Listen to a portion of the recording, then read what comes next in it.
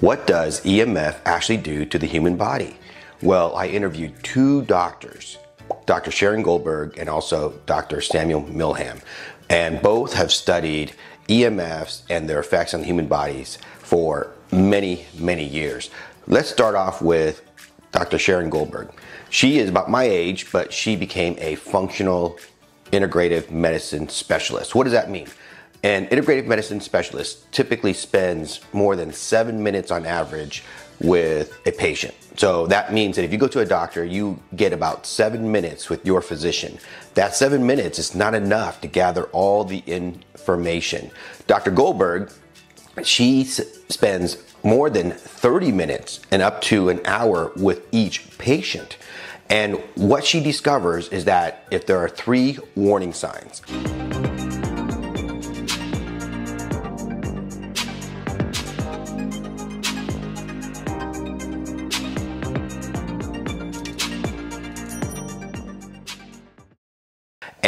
what she discovers is that if there are three warning signs, if there's fatigue, lack of sleep, abdominal pains and cramps, and just really obscure pains in the body, those are red flags for environmental toxins like mold, EMF, allergens, pollutants, and other environmental factors that affect human health.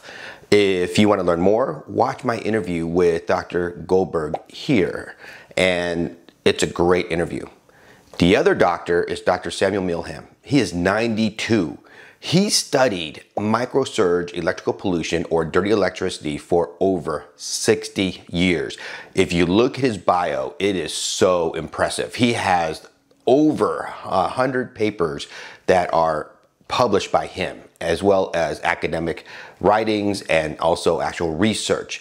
For example, one study, he looked at a school in La Quinta, California, where the teacher was complaining that the students were acting um, not themselves after a cell tower was installed right next to the school. So he went over there and measured the the dirty electricity in the school and it was off the charts. So there are meters that can use but he discovered that there was high levels of this microsurge electrical pollution. That affects the brain function, that affects your body, it causes fatigue, quote, that it attacks your immune system, unquote. So he installs these filters throughout the school and literally within three days the teacher called them up and said hey what did you do? The kids now are focusing. They don't have the adhd symptoms anymore. They are actually able to sit and learn and study. And he's an epidemiologist. So what is epidemiologist? I'm actually trained as an epidemiologist. That's what my master's in public health taught me to do. So i have an mph I'm a medical doctor. I'm also a PhD in neuroscience. So, so those two years, I learned how to study populations of people as patients. So as an epidemiologist, he wants to see if there are teachers that have environments of low dirty electricity, microsurge electrical pollution, versus teachers who work in schools with high levels of dirty electricity. He found that the teachers who worked in high levels of dirty electricity in their schools had higher levels of leukemias, blood cancers, and other types of malignancies. So if you want to learn more about this, he has a book called Dirty Electricity. Look at his interview uh, here. But Dr. Goldberg and Dr. Milham are not outliers. There are Dr. Pall and other researchers. I'll put the papers here on the screen for you. And these are review papers. But remember, review papers are a review of the entire literature at that point when that paper is published. So just because it's not a study, don't poo poo it. Read the references. Read the references and read the individual studies that the review paper is on. Often I get this response from people who don't do research or not an academic or just don't want to like, you know, blow this whole thing off or blow anything off. Oh, it's a review paper. It's not a blinded, placebo controlled, randomized clinical trial. Well, not all studies need to be that to be valid. Research studies that are review studies are also valid. So look at the actual references in these review papers, which will consist of randomized clinical trials, which will consist of epidemiological studies. And when you take the data in whole, they can make the interpretation. And that's where the, like Dr. Pall, he made the assessment that there is enough evidence in animal studies and in human studies to show that in the presence of electromagnetic fields, there is capacitive coupling that's strong enough to activate voltage gated calcium channels. What does that mean? Voltage gated calcium channels throughout the entire body controls many functions, your heart, your brain, enzymes, and even apoptosis. Apoptosis is a fancy word for programmed cell death. So when you're in the presence of electric fields, Dr. Pall says, hey, there's going to be some benefits because sometimes it activates pathways that will help you. And that's why we use electromagnetic fields in medicine to basically treat human diseases. One of the effects of electromagnetic fields on the brain, for example, if you focus right on the brain at certain areas, psychiatrists can actually treat anxiety and depression and other mental illness. But think of directed clinical focus of EMFs for clinical purposes as like a laser. Sharp, focus, and also specific frequencies that has been tested to help. But think of EMF in your house and the electric pollution that surrounds you as being like a wildfire, uncontrolled, running through your body, some good, most are bad, and that can cause human illness when the badness outweighs the goodness.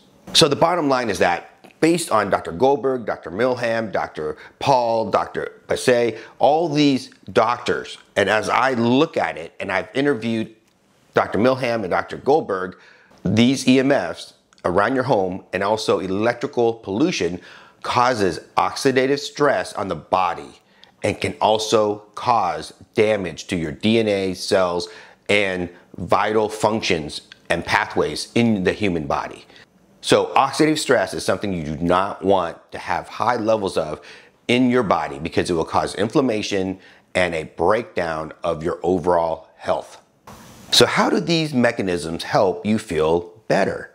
and improve your health? Well, the electron theory states that because the earth has a lot of electrons from lightning strikes as you touch the earth with a human body or connect to it with a grounding product, those electrons can flow into the body, which we know from Dr. Sokal's paper that basically touching the earth makes the body from zero millivolts DC to minus or greater than minus 200 millivolts DC.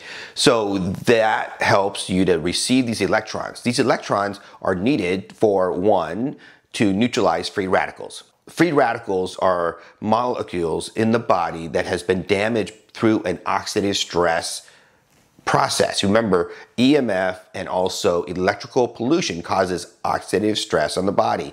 That leads to now the formation of free radicals. And that free radical formation is very dangerous because it steals electrons from other structures and molecules that need those electrons. So you want electrons to be in pairs. So those electrons from the Earth can act as a neutralizer, making a unpaired electron into a paired electron and therefore stabilize that free radical. So it also reduces inflammation through this process of having a large pool of electrons. Now, your body does have molecules like glutathione. Glutathione is an antioxidant, meaning that it actually can contribute an electron to free radicals to neutralize it. But that's made by the liver. Glutathione is in limited stores. So suppose you have chronic inflammation for whatever reason. You can actually deplete your body's stores of antioxidants. But when you touch the earth, it gives you more electrons. So if you're in a state of chronic inflammation, you're gonna feel better when you actually touch the earth. So how do we see that clinically? In this paper, we see that a chronic diabetic wound, meaning that a chronic wound here was defined as something that's like, I think over one or two months in duration. This wound here was bad for about over a year. So diabetic wounds are very hard to heal. You can throw antibiotics at it, ointment, bandages, it doesn't heal well. They put an earthing patch that's connected to a properly grounded outlet, and this patient, within a few weeks, started to show healing. And after a month, the wound has completely healed. I've seen that too in my in my personal life, and I've seen that with other people as well in the Earthing and Grounding Heals Forum, which now has like 54,000 individuals. When I first started talking about this, there's only a few thousand, but now there's 54,000, and I invite you to join. I'm an admin there. You can actually post questions, and I'm pretty good at answering questions and be engaging with the people in that group.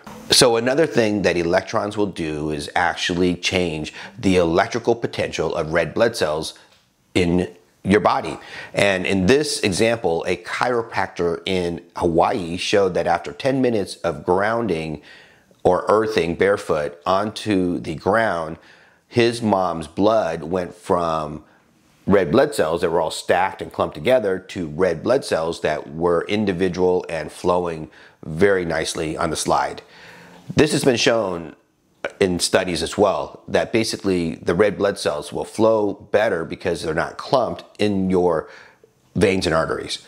This is fascinating because circulatory problems can lead to many human diseases when organs don't get their their red blood cells properly or adequately. So for example, if blood flow to the brain is is impaired, you can get strokes, memory problems, dementia. If it is impaired to the heart, you can get cardiovascular problems, heart attacks, and other problems with your heart. If it doesn't flow well to your liver, you get liver issues. You want blood flow that is excellent to all parts of the body. And if you look at this imaging here in this study, blood flow increases after grounding using an earthing patch and a properly grounded outlet.